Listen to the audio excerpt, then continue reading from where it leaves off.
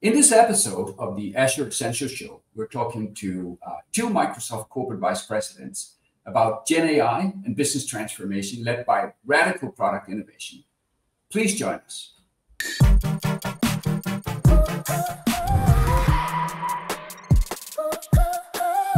Welcome, Uli. Uh, welcome, Vijay. Uh, today, we're going to discuss Gen AI and business transformation, in particular, uh, business transformation that is led by radical product innovation and R&D. Uli, I'm going to start with you. I know you have worked on multiple ways of transformation, from on-prem to the cloud, the e-commerce wave, the software as a service wave, just to name a few. So how do you see Gen AI compared to previous business transformation waves?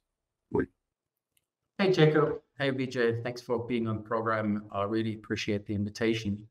Um, and obviously, this is a super interesting conversation. Um, if you look at the previous transformations, they all focused on taking something big, like a mainframe, for example, turning it into smaller things like a mini, and then turning it even smaller into a PC. So there was some core innovation that happened, and everybody's trying to miniaturize it. From the PC, we then then to the phone. If you look at e-commerce, it started off with the internet being the core innovation, and then we effectively built on top of this and figured out how to uh, utilize. AI is similar in a way because obviously there's been AI since a long time. Uh, AI started in the 50s, just in case, uh, 1950s, uh, just in case anybody is confused. Um, but Gen AI really looked at it from a different perspective and brought in something very, very special. Uh, that special is that you have now technology that effectively reasons over your suggestions or your questions and responds. In the previous ways, you still had to write code that effectively did exactly what you said it would do and did it reliably and consistently, which is obviously sometimes what you want. But with Gen AI, we are moving into a world where the AI system learns and puts that learning to use continuously and breaks it back. That's really the big, big thing uh, that effectively changes now that we have Gen AI. The next waves will also talk about planning and other things, which are very normal human activities, but computers haven't been able to do that. With Gen AI, that changes and therefore, I think we are going to go and still build on the shoulders of giants, meaning uh, the AI of the past. But with Gen AI, we really bring a uh, deep, deep capability set into uh, the world, which is really focused on reasoning and planning as two core principles uh, that reflect how humans act and humans work, but doing that with computer scale and computer knowledge. Um, and that's really the big uh, change as I see it. Thank, thank you, Uli. I mean, Vijay, you have been uh, focusing on generative AI for uh, product innovation and for R&D for several years. I mean, what do you think is different this time? And could you give some example as to why? Yeah, thanks indeed, Jacob, uh, and great to be uh, you know in this conversation with you, Uli, as well. Uh, so I want to build on what Uli said. For the first time, we are able to reason and we don't have to wrote, write code for it. So the main difference that I have seen from previous transformation waves is that the work of people who do the research, who do the product innovation, who take customer feedback and put it back into the products very rapidly, that work is changing. So I want to really start with examples. So let's take a let's take a cosmetics company. And this company today sells products that make people look good there's a market opportunity, and they knew about this opportunity already, for products that not only make you look good, but have probable wellness claims. Now, that's product innovation if you can do that. What makes it radical product innovation is if you can do that with your existing relatively small base of researchers and product formulators and marketeers and signal gatherers. And you can do that at the speed of consumer trends and not try and become a pharmaceuticals company with 12 year lead times. That is radical. So, a product you could not have imagined before generative AI yourself offering at scale. Now let's take a second example, a reinsurance company. Now, again, some details have been changed so that we cannot um, sort of reveal exactly who it is. But this company is taking on a huge new portfolio of risks where there is exposure to environmental damage potentially. Take an example of a dairy operation, sprawling operation.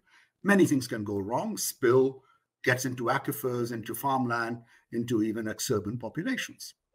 So the ability to insure a dairy operation is not new. People knew that. What makes it a radical product innovation is if I can do that, I, the insurance company, can do that with my existing underwriters, my existing data assets, and do that in diverse geographical location as new environmental risk factors emerge and new regulations emerge. That is radical. So basically, what generative AI allows us to do, I think of it as three things. Number one, it can reason over any information, whether it's patterns with tables inside them, sketches inside them, literature, uh, you know, video feeds of increasingly uh, that we are seeing, every one of those things, and all the emails and Teams channels that go around where a lot of knowledge is buried, we can reason. Second is, I think of it as a teaching engine.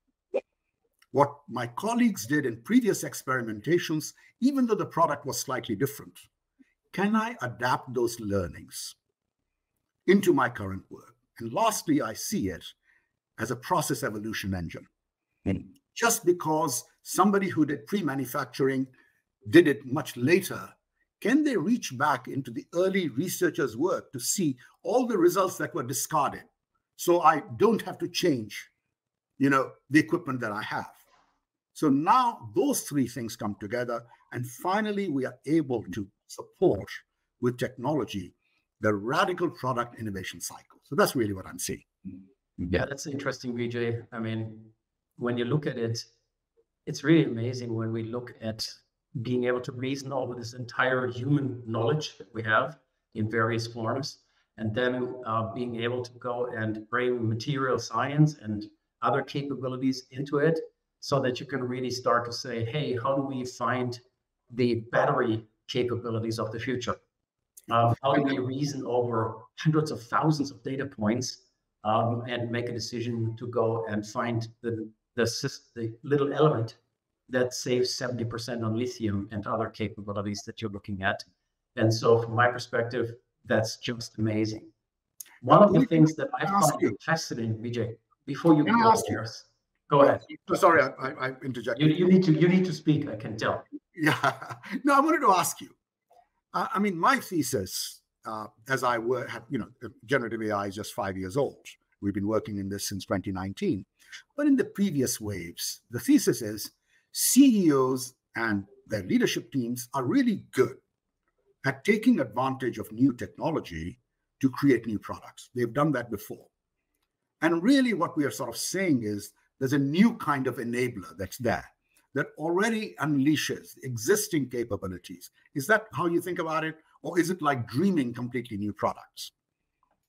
I personally think it's going to be a um, combination of both. It's it's of course as you said, hey, there's research that we did before we discarded experiments. Um, as Mr. Edison said, hey, I now know how to not make a light bulb, um, and a lot of companies actually do have the knowledge, but they don't remember anymore because the researchers that did their work might not be there anymore. So now you have access to your history as much as possible. But now, as you pointed out, the innovation going forward is actually going to be empowered by much faster experimentation in safer and cheaper ways because you can just ask the AI to help you. And the AI is not creative, it is not smart, but it has access to all of this data. And if you ask it, it will iterate with you on ideas and approaches. Um, a very cool example is um, when you have a company that builds toy cars uh, Hot Wheels or something like that, and you ask the system to create Hot Wheels. You feed it a bit of data. It has no idea what a Hot Wheel is, but because it understands what you believe a Hot Wheel is, it can come up with very creative ideas. And it's much, much faster uh, to do that and partners with the human being, the designer, to effectively go and iterate over a design so that at the end of the day, instead of you having uh, drawn 50, you have been able to do 500, 5,000 scenarios to get just more perspective.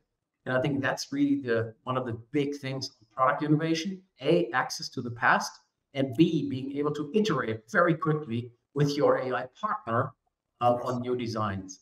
And I think given where we are with respect to human demographics, especially in the Western societies, uh, we need to think through how we keep the level of productivity up or even go higher uh, while we are not having as many human beings anymore that can do the work. So I think that combination is a very powerful uh, set of capabilities. Um, and ultimately, the prize is rapid innovation with fewer human beings, but or the people that are there to do their job faster, better, and more creatively. Absolutely. Uh, Vijay and Uli, before I pause this first session, because we're, we're not done, but we're going to pause in a little bit because we need to come back to talk about things like uh, readiness and operationalizing and learnings and so on. We'll do that in, in a different episode. But Vijay, before we do that, I want to close on something you said earlier. Like you said, you gave the example of a reinsurer. So just to bring this back to, and will you talk about the creation of new products and how to be more, uh, let's say, creative in your process and how you can uh, depend and rely on AI as, as, a, as, a, as a creative partner in that process.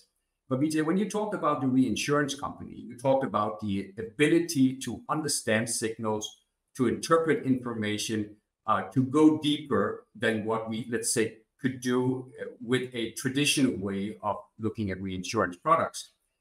Would you say that one thing is the, let's say, the radical product innovation that really speaks to, but there is also an opportunity for companies to reinvent existing products and go further up the stack and to some extent, and I apologize for putting the word in your mouth, but to some extent, let's say, find ways of capitalizing on generative AI even before it's perfect.